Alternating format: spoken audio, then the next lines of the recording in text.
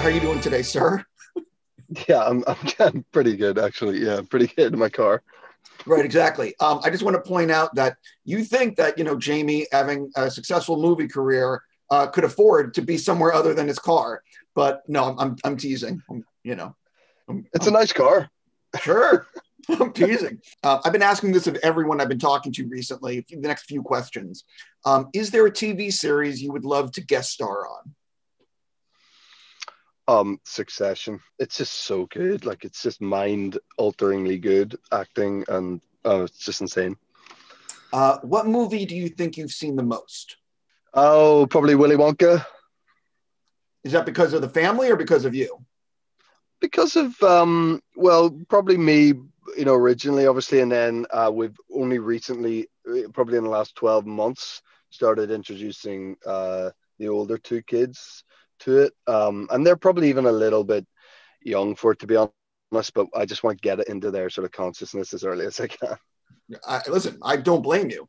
Um, is there a TV series that you have watched all the way through more than once? I'm going to say no. The answer is no, but I've been very close. And my we talk. You're so spoiled now because it, it's always just the next thing and the next thing, and this is great and this is great. So you've always got something new to look forward to. But now and again, you hit a little bit of a rut, don't you? And you're like, oh, I don't know, I don't know. Why. And I, I, we've we've toyed with the idea of of starting um uh of starting Sopranos again. Toyed with the idea of starting uh, The Wire again, and um yeah, might be that that that might they're probably the two that we've toyed with. I mean, I've probably seen every Friends episode more than once, so does that count? I don't know. No, no, it counts. It, it counts. Okay. Right. Um, what have you been binge watching uh, during the pandemic? I mean, it feels so long ago now. Tiger King, doesn't it? Really, it feels like a lifetime ago. But I guess I was on that train um, with every every single person in the world who had Netflix. Um, uh, wow, what else have we watched? Um, I've been watching a lot of. Uh, God, that's terrible, isn't it? I don't even know. I mean, we're so tired once we put the kids to bed that we're like, you know, we can usually squeeze out like one episode of something, and then like there's not even time for binge. It's like, uh, it's like watch one episode and go, oh my god, it's nine o'clock. We have to go to bed. that's that's kind of our life. Um, but um, I tell you, there's a show that I don't know how you can get it in the states, but it's a beautiful show called Mum, um, and it's Lesley Manville is the lead in it, who is obviously an absolute legend, and it's just so wonderful. It's just beautifully, um, very funny, very British, I guess, but it's very, um, it's it's it's really worth finding if you can. So we, we definitely binged that when it was uh, on the Done Two series. Um, jumping into your acting career for a second, uh, when was the last time you remember being super nervous about getting ready to film something and why? Every single job I do. Um, because if you lose that, I think you're screwed. I mean, you should be sort of terrified. You know, I'm, you know, I, I even heard Michael Caine talk about that years ago about like, you know how the terror of and uh, you know uh, of of of doing it of hearing the word action it's terrifying. And just knowing you're about to commit something to celluloid for uh, for the rest of time and all these people are um, are working hard and this guy's got this really tricky focus pull to do and the camera movement's really tricky and it's kind of you know if you fuck it up it's uh it's it affects all these people and I'm very aware of that and I carry that a lot, I think. And, you know, but I think it's right. It's, it's, it's a sort of nervous energy, but it's an excited energy. You know, I just finished shooting this movie with uh, Kenneth Branagh directing, and you know he's such a legend, and I, I'm I, I'm such a fan of his, and I've always wanted to work with him. And so day one on that, I mean, it's the last thing I shot. We just we just wrapped. Um, day one on that, I was like, is, is Kenneth Branagh really about to watch me act and be happy with it? You know, it's like, how's this going to go? But it was like the most joyous experience ever. Oh, we're going to get to Belfast in a little bit. Okay. Um, what's funny is I interviewed Kenneth earlier this year, and he was telling me about how he was writing something personal, and we were going right. to shoot it later this year. And he wasn't specific with me, but now I know what it is, and you know everything else. Yep. Um, what's the most important thing you need in your trailer? um, probably like some sort of like I, I'm obsessed with this stuff called biltong, which is a, like a South African, but you can get it everywhere now. It's basically like a, a, a dried out m- meat. I mean, it's it's like a, f- a fancier version of jerky, I guess. Uh, you guys have jerky, but jerky's quite dry, I find, and it's a, it's a little bit. Uh, I, I I'm one of those people. I need to. I need to. I pretty much I'm only happy if I'm eating. Um, so I'm I'm I try to like make sure my trailer's stocked with like stuff that's like filling and high in protein, and they'll keep me um going a bit. So um probably that or this crazy when we were doing Wild Mountain Thyme, Emily got me hooked on this like this uh, I don't know, it's like an energy drink. I think it was. We called it our acting juice. It was like we felt that we got to a stage where we sort of couldn't work without it. it was this crazy, like fizzy um, energy drink that like Dwayne Johnson had got her into when they did Jungle Cruise or something. It's kind of kind of crazy uh, thing. So um, I might need that from now on. Got it. Um, well, what you didn't realize, it's called Jolt uh, Cola. It's just caffeine and sugar. That stuff, no, it's not that stuff. That stuff is rocket fuel. Right, exactly. I'm, I'm listen. Anything that Dwayne is drinking is obviously super healthy. exactly. Will I look like him? Do you think? I th- you're going to land on your feet. You're going to be okay. okay. Right. Um, what props or costumes have you taken home from set? I don't do that. I've not really, really? done that. I don't think. No, I tell you, um, the only one that sort of comes to mind. I remember, um, and yeah, no, I, I the the um my like paramedic jacket in Synchronic, um, I, they gave me that at the end as a gift, um, because I think I'd voiced a lot of, you know, while we were shooting, I'd done a lot of um you know, I love this. I really love this jacket. I would wear this jacket, you know, socially. So they um they gave me that as a gift at the end. But usually I don't ask for stuff or take stuff. It's interesting. I totally would be taking everything and having a storage unit uh, filled with crap. Um, but that's me. I think if I was on like you know something really iconic, you know, like Star Wars or something, I'd probably be trying to take some sort of prop that like everyone would know about and have it in a case on my you know shelf or something, but I, I haven't done that yet. Uh, you many years ago, before you were an actor, um, you used to do modeling work for like Hugo Boss and Calvin Klein and a bunch of places. Um, can you watch the movie Zoolander and have fun with it? Um, you've seen Zoolander, right? Of course, I've seen Zoolander. Um, I, I, I, love it's such a brilliant movie. It's so obviously so funny. Um, what is crazy about it is that like well, I'll tell you what, I was really lucky because I never did um, runway. I've never done a catwalk in my life. I I I I, I kind of hated modeling to be honest. So um, I could just about take my get my photograph taken, which I again I really don't didn't enjoy, don't enjoy. But the whole like trying to look cool, walking up and down the thing, forget about it. Like I, just couldn't do that. So I literally never did it in my life. But uh, one time I went to try to do it in like Milan or something when I was like 20 and I sort of got laughed out of the room. I don't have a great walk anyway, and I probably wasn't really tall enough for runway stuff anyway. Um, but I met a lot of. It's the only time really because I was sort of lucky that I did photographic stuff.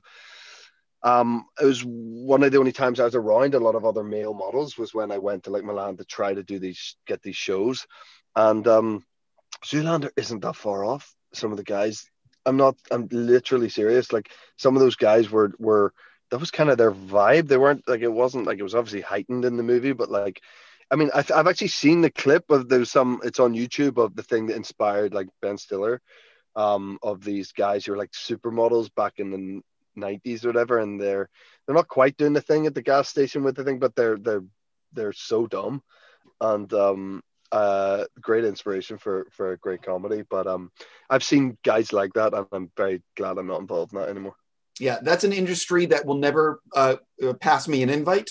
So um, I, can, I can only ask about it and live vicariously through other people. Um, move, moving on to the next thing, uh, I saw on Instagram that you ha- had built recently a Lego set.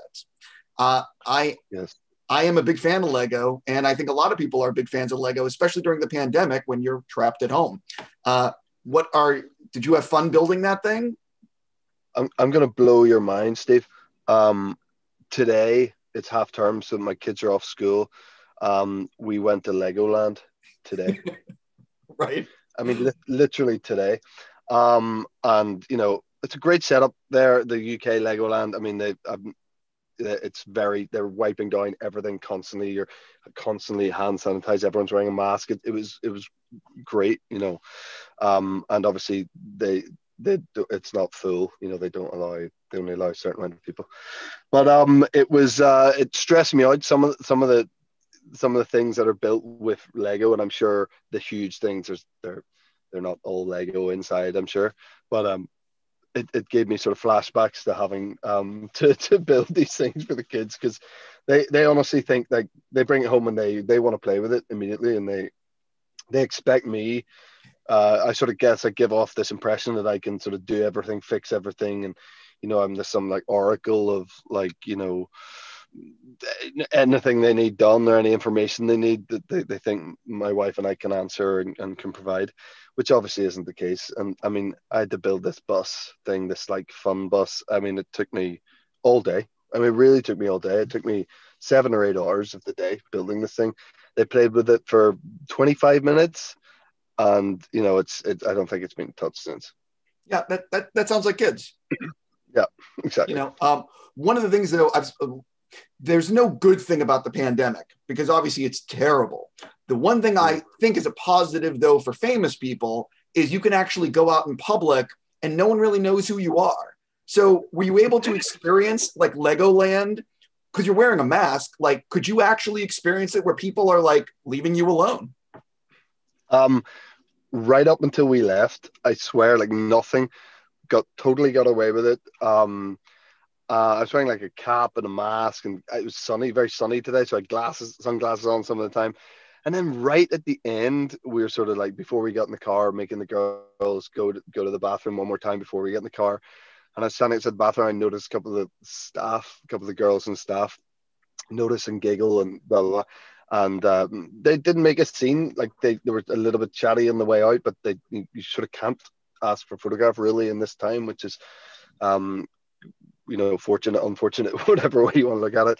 But um, that was it, and, and we'd been there for like four hours, and, and nobody said anything. So um, it was pretty good. Although I did have one thing, I, I was buying. I was in uh, like a record store a few weeks ago, buying like wrap gifts actually for for Belfast, and um, uh, I was wearing my mask, obviously, and I was paying, and the guy behind the counter was like, he recognized me from my voice, which is really, really weird.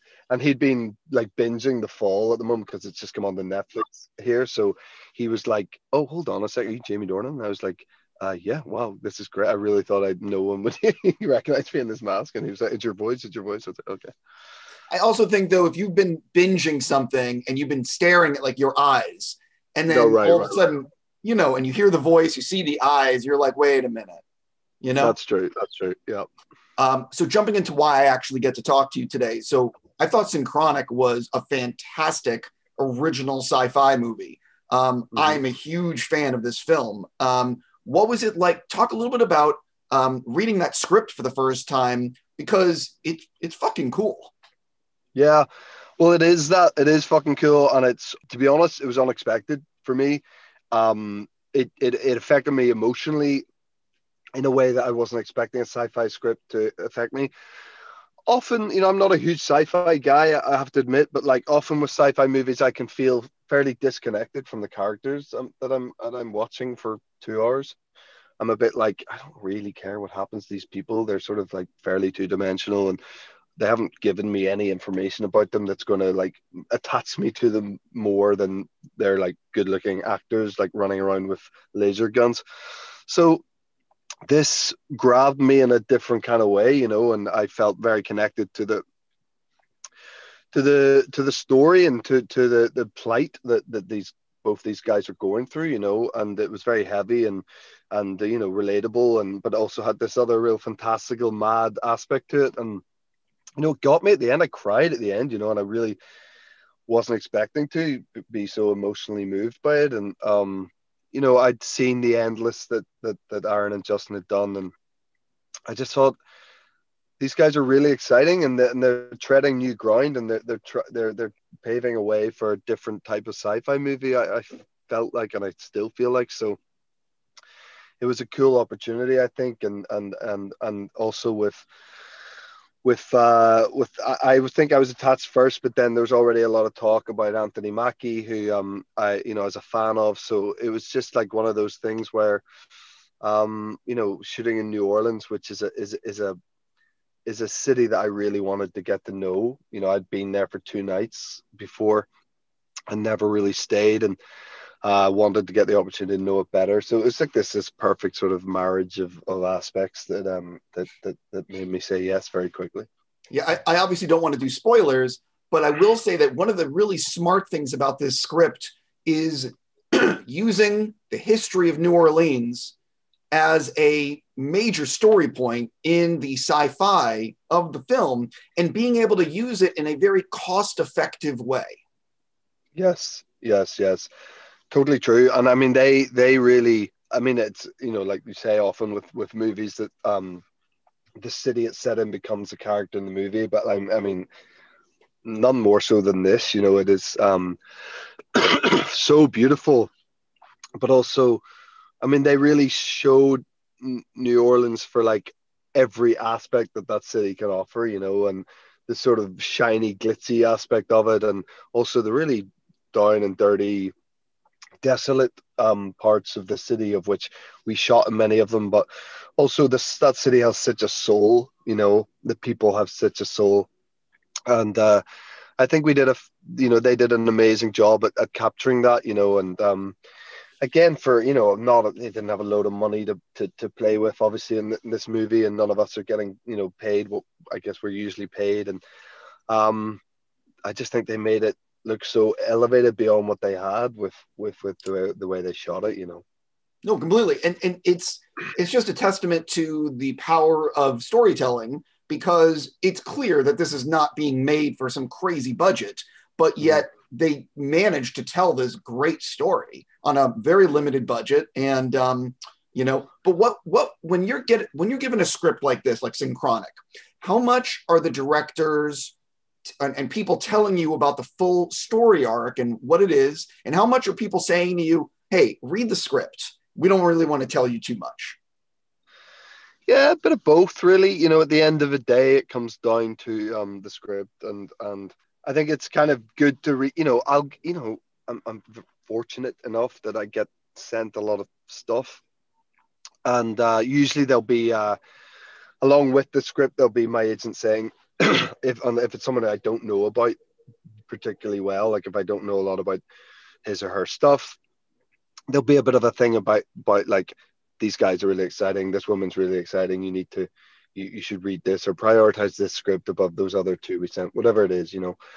So there's usually you have an idea of what you're in for and and and what the uh, appetite of your your your team is around the, the filmmaker.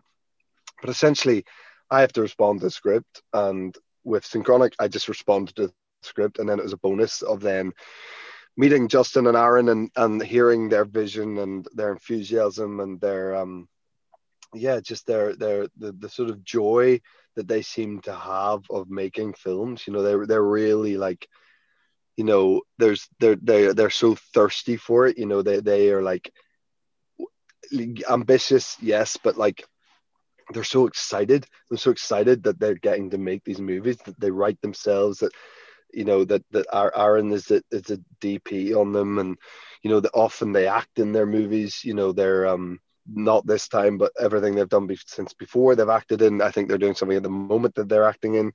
So they just like it's so joyful to be around these guys who just love making movies. You know, this is very infectious. You know, um, so uh, I'd like the script anyway, and then I met those boys and you know over uh, Skype or be- this before Zoom. Anybody knew what Zoom was? I think before the pandemic, um, and uh, then it was just you know their enthusiasm was so infectious, and it always just seemed like such an easy decision.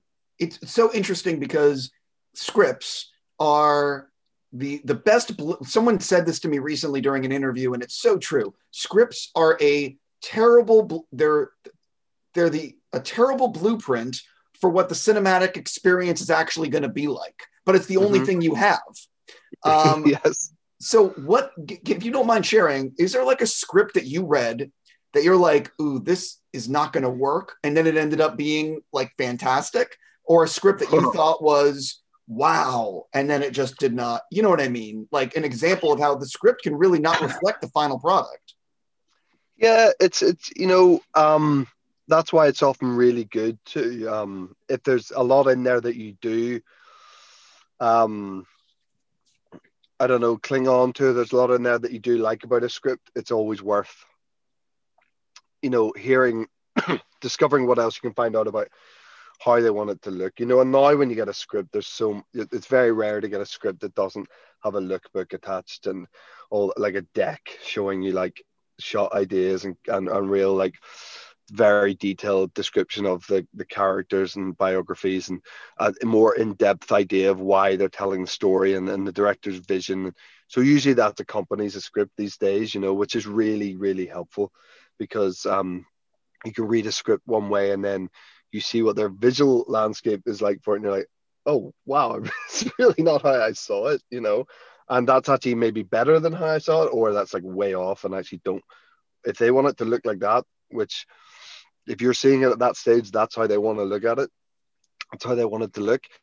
Then, you know, it maybe doesn't work out so much. I've had scripts I've read where I've kind of really uh, liked it, um, and visually and the screen directions are so um, uh, dense and uh, detailed and really beautiful, and you find yourself getting like oh my god this is going to look so amazing. The way the description of when they open that door and see that world for the first time it's crazy. And then you go actually hold on a minute the dialogue's terrible. And at the end of the day you have to say those words. And um as actors I'm, I'm sure i speak for everyone we've all been in situations where you're saying words that you don't love and they don't feel that comfortable and they, they don't come out easy. And um and so if you've had those experiences before, you have to make sure that the words on the page are words you want to say. I don't care how beautiful the description is, you've got to be able, the words have got to be great. So you've sort of ended up casting those scripts aside because of that, because at the end of the day, they can ham it up talking about how beautiful the shot's going to be and ever, but you still have to stand there and say that dialogue. And if that dialogue's not good enough, it's not going to work. Jumping into Wild Mountain, um, since no one will have seen the movie yet, uh, and I hate asking the generic thing, but can you, for people that want to know about the movie, how have you been describing it?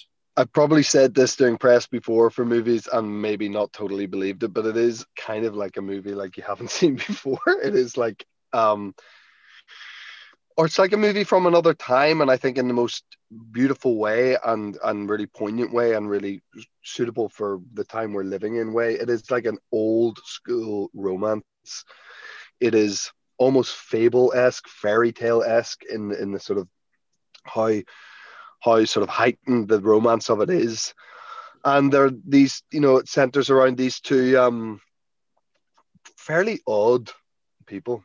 You know, who, uh, my character Anthony Riley and Emily Blunt's character Rosemary Muldoon, who have grown up on they're farmers and they've grown up uh, the neighboring farms in in rural Ireland and um, there has been this crazy connection, more so from one side for their whole lives, and they haven't been able to do anything about it.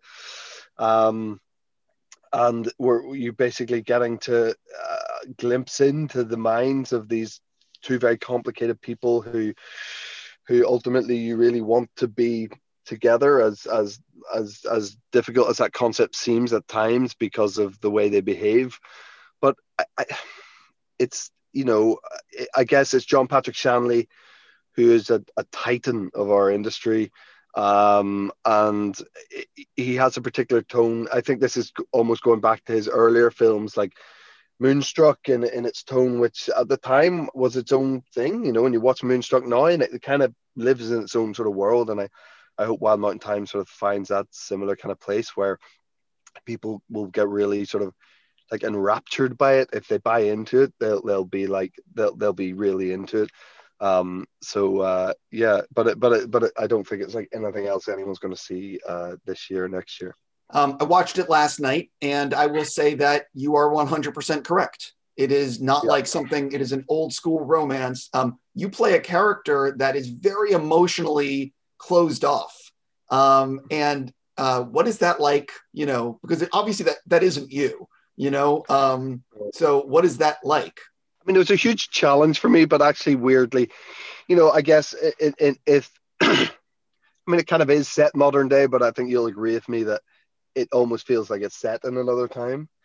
Um, if you know, let's say it is today, Anthony's on the spectrum. He is, and you know, and I'm not saying that's a negative thing or anything, but he would be classified as someone who's on the spectrum now. He's someone who finds um, dealing with his own emotions, other people's emotions, very difficult. You know, and he is someone who is uh, not quite world ready.